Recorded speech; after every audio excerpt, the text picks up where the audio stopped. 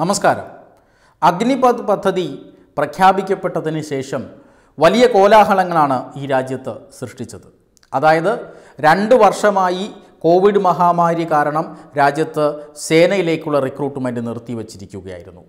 ആയിരക്കണക്കിന് പതിനായിരക്കണക്കിന് യുവജനങ്ങൾ സേനയിലേക്കുള്ള റിക്രൂട്ട്മെന്റ് കാത്തിരിക്കുന്ന അവസരത്തിലാണ് അഗ്നിപഥ് പദ്ധതി പ്രഖ്യാപിക്കപ്പെടുന്നത്. രാജ്യത്തെ യുവജനങ്ങൾക്ക് മികച്ച ഒരു അവസരം ഒരുക്കുന്ന പദ്ധതിയായിരുന്നു അത്. പക്ഷേ ഇനി സേനയിലേക്ക് റിക്രൂട്ട്മെന്റ് ഉണ്ടാവില്ല എന്ന് കുറച്ചു പേർ തെറ്റിദ്ധരിച്ചു. അഥവാ അവരെ തെറ്റിദ്ധരിപ്പിച്ചു. ബീഹാറിലെ ഒരു ഈ സൈനിക പരിശീലനം സൈനിക റിക്രൂട്ട്മെന്റിലേക്കുള്ള പരിശീലനം നടത്തുന്ന ഒരു സ്ഥാപനത്തിലെ വിദ്യാർത്ഥികളാണ് ആദ്യം പ്രതിഷേധം തുടങ്ങിവെച്ചത്. അക്രമാസക്തമായ പ്രതിഷേധമാണ് അവർ തുടങ്ങിവെച്ചത്. പക്ഷേ ഒടുവിൽ എന്തു സംഭവിച്ചു? ഈ അക്രമാസക്തമായ പ്രതിഷേധത്തെ രാജ്യവിരുദ്ധ ശക്തികൾ ഏറ്റെടുത്തു. പൊളിറ്റിക്കൽ ഇസ്ലാമിക് സംഘടനകൾ ഏറ്റെടുത്തു. അവർ ഈ സംഘർഷത്തെ മറ്റു സംസ്ഥാനങ്ങളിലേക്ക് വ്യാപിപ്പിക്കാൻ ശ്രമിച്ചു. പക്ഷേ കേന്ദ്ര സർക്കാരും ഈ ചുമതലപ്പെട്ട ഉദ്യോഗസ്ഥരും സൈനിക ഉദ്യോഗസ്ഥരടക്കമുള്ളവർ പൊതുസമൂഹത്തോട് ശക്തമായ അതായത് ഈ അക്രമം നടത്തുന്ന സമരാനുകൂലികളോട് ശക്തമായ മുന്നറിയിപ്പ് നൽകി.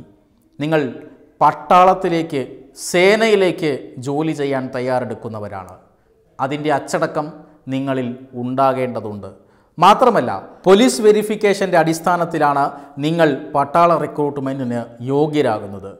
ഈ പോലീസ് വെരിഫിക്കേഷൻ നിങ്ങൾ പാസ്സായില്ല എങ്കിൽ നിങ്ങളുടെ കരിയർ സ്വപ്നങ്ങൾ അവിടെ അവസാനിക്കുന്നു. അതുകൊണ്ട് അക്രമ സംഭവങ്ങൾ എല്ലാം മാധ്യമങ്ങൾ തത്സമയം റിപ്പോർട്ട് ചെയ്യുകയാണ്. നിങ്ങളുടെ മുഖം അതിൽ പതിഞ്ഞാൽ നിങ്ങളെ തിരിച്ചറിയാനായാൽ നിങ്ങളുടെ ആഗ്രഹം എന്നേക്കുമായി മടക്കി വയ്ക്കേണ്ടി വരും. ഉടൻ തന്നെ ഈ കോലാഹലങ്ങളെല്ലാം നിലച്ചു. സമരത്തിന് ആളെ അക്രമ സംഭവങ്ങൾ പൊടുന്നനെ നിലച്ചു. രാജ്യത്ത് സമാധാനം പുലരുന്നു. അഗ്നിപഥ് പദ്ധതിയെക്കുറിച്ചുള്ള പ്രയോജനങ്ങൾ ക്രമേണ യുവജനങ്ങളിലേക്ക് എത്താൻ തുടങ്ങി. അതായത് അതിന്റെ ശമ്പളം എത്രയാണ്? നാല് വർഷം കൊണ്ട് എത്രമാത്രം സാമ്പത്തിക സുസ്ഥിരതയാണ് ഈ അഗ്നിവീരന്മാർ നേടാൻ പോകുന്നത്? അതിനുശേഷം അവർക്കുണ്ടാകുന്ന അവസരങ്ങൾ എന്തൊക്കെയാണ്?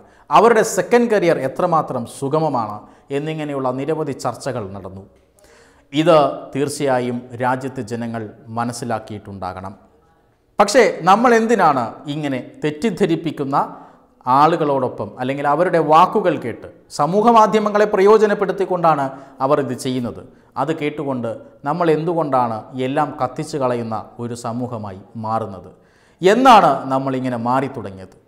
ലോകം മുഴുവൻ കൊറോണ ലോക്ക്ഡൗണിനെതിരെ ലോകത്തിലെ പുരോഗമന രാജ്യമെന്ന് പറയുന്ന കാനഡയിൽ പോലും ലോക്ക്ഡൗണിനെതിരെയും നിർബന്ധിത വാക്സിനേഷനെതിരെയുമെല്ലാം സമരങ്ങൾ നടന്നു. ജനങ്ങൾ അക്രമാസക്തരായി. പക്ഷേ നൂറ്റി മുപ്പത് കോടി ജനങ്ങളുള്ള ഈ വലിയ രാഷ്ട്രം ശാന്തമായി ലോക്ക്ഡൗൺ നിയമങ്ങളെ അനുസരിച്ചിരുന്നു. വാക്സിനേഷൻ സെന്ററുകളിൽ പോയി അവർ വാക്സിൻ എടുത്ത് സർക്കാരുമായി സഹകരിച്ചിരുന്നു. പക്ഷേ എന്തുകൊണ്ടാണ് ആ മനോഭാവവും ആ പക്വതയും ഈ ഇടയ്ക്ക് നമുക്ക് കൈമോശം വന്നത്? ആരാണത് തകർക്കുന്നത്? ആ ദേശവിരുദ്ധ ശക്തികളെ ഒറ്റപ്പെടുത്താൻ നമുക്ക് സാധിക്കുമോ? ഇതെല്ലാമാണ് ഏറ്റവും ഒടുവിൽ അഗ്നിപഥ് എന്ന പദ്ധതിയെ വിലയിരുത്തുമ്പോൾ നമുക്ക് നമ്മുടെ മുന്നിൽ ചോദ്യചിഹ്നമായി ഉയരുന്നത്. എന്തുകൊണ്ടാണ് നമ്മുടെ സാമൂഹിക അച്ചടക്കം തകർന്നു പോകുന്നത്? അതിന് പിന്നിൽ പ്രവർത്തിക്കുന്ന ദേശവിരുദ്ധ ശക്തികളെ നിയമത്തിന് മുന്നിൽ കൊണ്ടുവരാനാകില്ലേ? എന്തായാലും ഒരു കാര്യം ഉറപ്പാണ്. കേന്ദ്ര സർക്കാരിന്റെ പദ്ധതികൾ അഗ്നിപഥ് ഉൾപ്പെടെയുള്ളവ പിൻവലിക്കപ്പെട്ട കാർഷിക നിയമങ്ങൾ ഉൾപ്പെടെയുള്ളവ സമൂഹത്തിന്റെ നല്ലതിന് വേണ്ടിയായിരുന്നു. ആ പദ്ധതികൾ തുടരുക തന്നെ ചെയ്യും. കാർഷിക നിയമങ്ങൾ പിൻവലിക്കാനുണ്ടായ സാഹചര്യം വേറെയാണ്.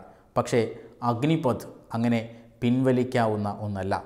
വളരെ വലിയ മുന്നൊരുക്കങ്ങളോടുകൂടിയാണ് ആ പദ്ധതി പ്രഖ്യാപിക്കപ്പെട്ടത്. പ്രഖ്യാപിക്കപ്പെട്ട മണിക്കൂറുകൾക്കകം തന്നെ വിവിധ സേനാ വിഭാഗങ്ങൾ ആ റിക്രൂട്ട്മെന്റ് നടപടികൾ ആരംഭിച്ചു കഴിഞ്ഞു. വിജ്ഞാപനങ്ങൾ ഇറങ്ങിക്കഴിഞ്ഞു. ഓരോ അഗ്നിവീരന്മാരും രാജ്യത്തെ സേവിക്കാൻ തയ്യാറെടുത്ത് നിൽക്കുകയാണ്. ബീഹാറിൽ നിന്നായിരുന്നു പ്രതിഷേധങ്ങളുടെ പ്രഭവ കേന്ദ്രം. പക്ഷേ അവിടുത്തെ യുവജനങ്ങൾ ഇന്ന് മാറിയിരിക്കുന്നു. അവർ മനസ്സിലാക്കിയിരിക്കുന്നു. രണ്ട് വർഷമല്ല ഇരുപത് വർഷമായിക്കോട്ടെ പത്ത് വർഷമായിക്കോട്ടെ നാല് വർഷമായിക്കോട്ടെ രാജ്യത്തെ സേവിക്കുക എന്നതാണ് പ്രധാനം. അതിനുള്ള അവസരം നേടുക എന്നുള്ളതാണ് പ്രധാനമെന്ന് ഇപ്പോൾ നമ്മുടെ സമൂഹത്തിൽ നിന്ന് യുവജനങ്ങൾ തിരിച്ചറിഞ്ഞിരിക്കുന്നു. വെബ് ഡെസ്ക് തത്തുമയ്യ ന്യൂസ്.